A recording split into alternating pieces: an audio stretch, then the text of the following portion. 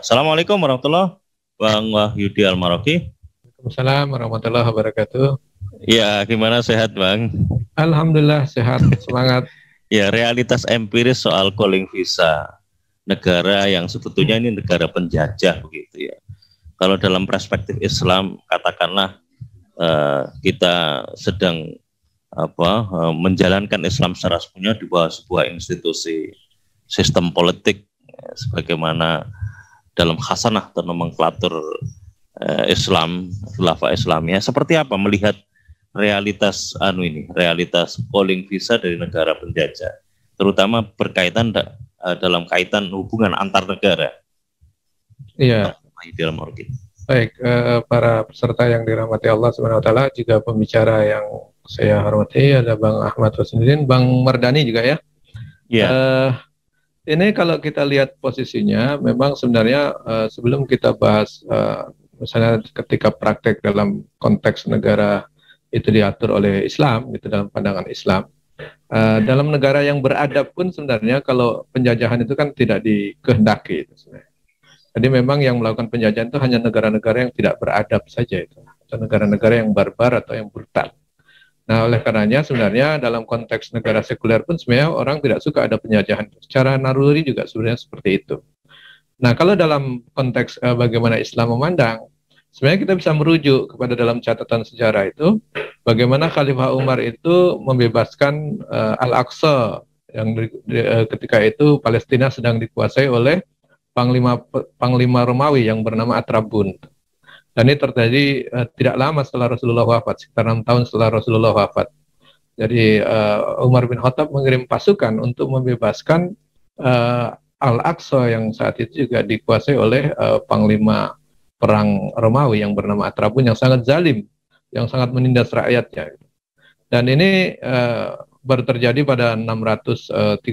Artinya kalau kalau dari konteks apa uh, umat Islam itu baru juga itu, baru baru ditinggalkan oleh Rasulullah ya mungkin sekitar enam tahun kemudian. Dan dan ini contoh yang paling apa fresh untuk umat Islam.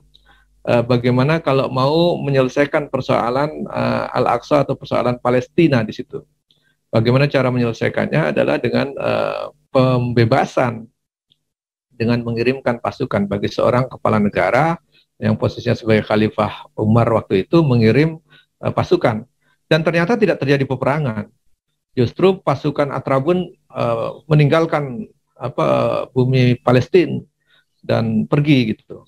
Dan ini sebenarnya kalau ini dilakukan sekarang, kalau sekarang ini para pemimpin-pemimpin apa itu mau mencontoh uh, perspektif Islam, misalnya dalam konteks mencontoh Khalifah Umar, nah itu tentu selesai itu urusan apa uh, Palestina itu. Jadi persoalan sekarang itu kan eh, negara-negara ini tidak serius untuk uh, menjaga perdamaian yang ada.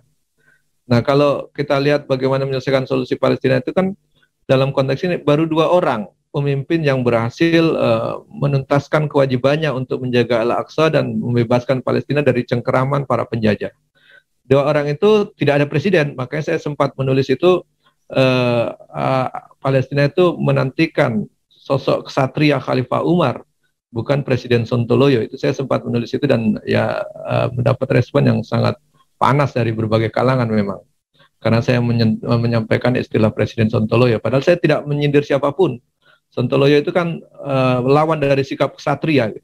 Kalau kesatria ya bilang apa uh, penjajahan tidak sesuai dengan peri kemanusiaan harus dia tunjukkan bahwa memang tidak sesuai. Kalau dia mengecam harusnya dia juga tidak bekerja sama di belakang layar gitu.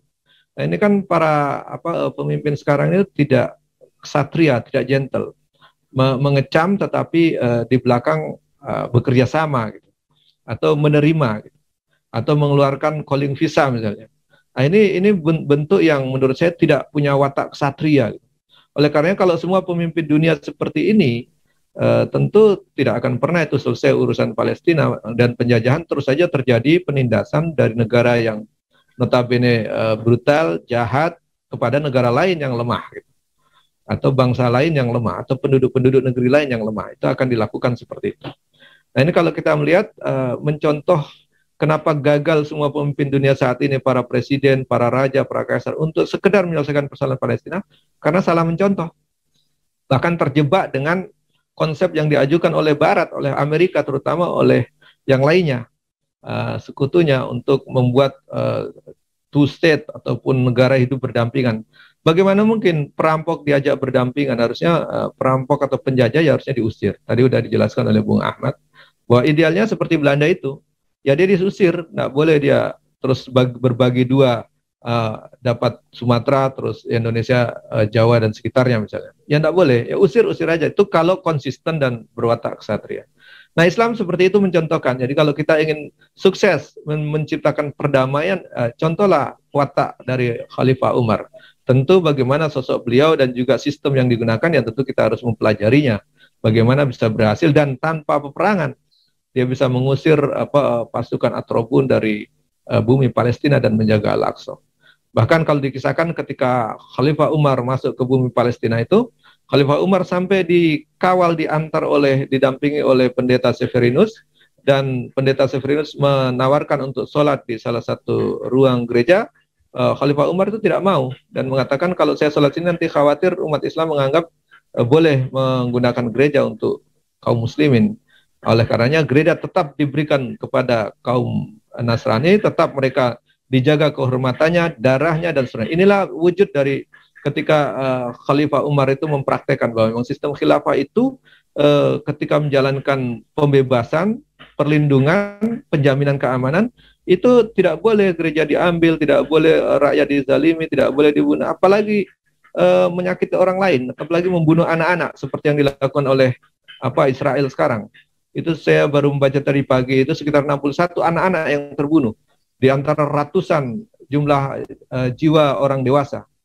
Selain itu ada uh, belasan ribu atau ribuan orang yang uh, terluka dan mengungsi.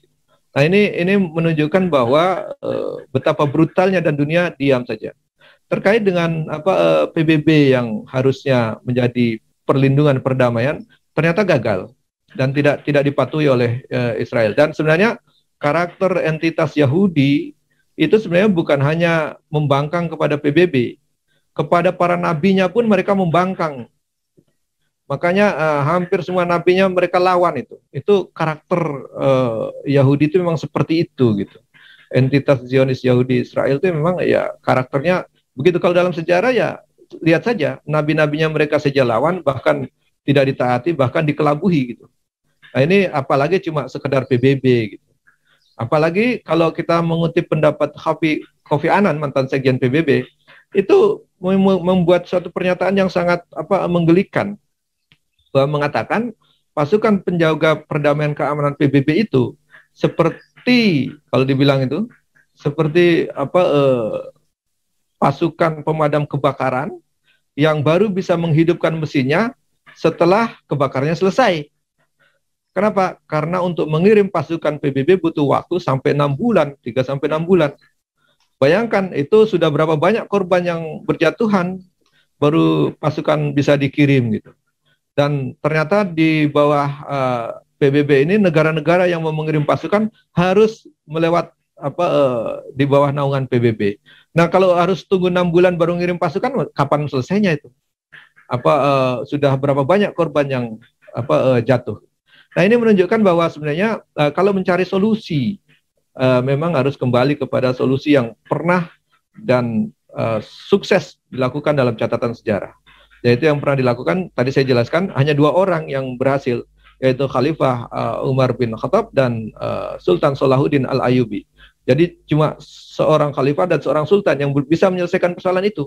Dan kalau kita mencontoh mereka tentu layak dicontoh bagaimana menyelesaikan dan uh, itu bisa berhasil. Dan kita tidak bisa mencontoh karakter para presiden di dunia sekarang, karakter para raja yang ada sekarang, karakter para uh, perdana menteri maupun kaisar yang ada sekarang, yang menurut saya wataknya tadi mengulang-ulang pernyataan. Dia hanya mengecam. Gitu. Dan padahal kalau mengecam itu kan tadi dikatakan oleh Bung Ahmad tuh, ya dia juga bisa mengecam, saya juga bisa mengecam. Gitu. Jadi kalau kita kembali kepada istilah bagaimana menyikapi persoalan di Palestina itu, ada satu hadis Rasul yang memberikan gambaran kepada kita itu sangat uh, uh, relevan untuk kita jadikan acuan bahwa man uh, barang siapa man roa barang siapa yang melihat kemungkaran di antara kita jadi itu levelnya ada tiga Yang pertama harus merubah dengan tangan atau kekuasaan yang dimiliki. Yang kedua, kalau tidak mampu maka ubahlah dengan lisan. Dan kalau tidak mampu maka ingkari dengan hati dan itulah selama-lama iman. Artinya kalau melihat kemungkaran yang terjadi di Palestina, di, di mana ketika orang sholat kemudian ditembaki, kemudian dibombardir, kemudian itu itu kemungkaran yang nyata di depan mata. Gitu. Dan kalau kita punya kekuasaan, punya legalitas kewenangan, maka harus dihentikan kewenangan itu. Nah, bagi penguasa, pemimpin-pemimpin dunia, dia punya kewenangan, dia punya pasukan, dia punya kekuatan diplomatik, dia punya kewenangan apa membuat uh, penekanan perjanjian dan seterusnya. Nah, ini harusnya dia menggunakan itu, bukan mengecam. Kalau mengecam itu level kedua itu, menghentikan dengan lisan. Nah, kalau lisan itu orang yang tidak punya kewenangan, apabila tidak punya kewenangan, baru menggunakan lisannya. Oleh karenanya, Eh, kita yang tidak memegang kekuasaan masih wajar menggunakan lisan, menggunakan diskusi seperti ini untuk apa? Untuk mengingatkan dan mendorong para pemimpin yang sedang punya kekuasaan jangan sampai dia melanggar perintah dari hadis Rasulullah Muhammad SAW tadi yang ketika melihat kemungkaran diam.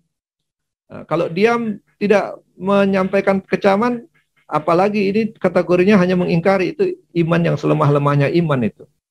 Nah kalau kategori kita sebagai yang bisa menyampaikan ucapan ya wajar. Jadi jangan sampai seorang penguasa turun level, seorang kepala negara turun level gitu. Nah, ucapan, mengirim bantuan, mengkritik itu bisa dilakukan oleh selevel ormas, selevel LSM, selevel masyarakat biasa itu bisa mengkritik. Mengumpulkan bantuan bisa dilakukan oleh publik. Oleh karenanya orang yang memiliki kewenangan dan kekuasaan dalam hadis tadi dia ada di level 1 harus menghentikan, mencegah dengan kekuasaan yang dimiliki, yaitu uh, dengan kewenangan maupun dengan pasukan yang dia punya. Oleh karenanya uh, kita ini pasti dimintai pertanggungjawaban di akhirat nanti. Apakah dengan kekuasaan itu kita sudah menjalankan dan menggunakan dengan kekuasaan yang ada ketika melihat kemungkaran dan kemaksiatan yang terjadi, atau kita turunkan level kita pada level kedua menggunakan lisan saja bahkan menggunakan lisan di belakangnya masih main mata ataupun masih apa uh, berbaik-baik di belakang atau menjalin hubungan dagang. Nah, ini berbahaya ini.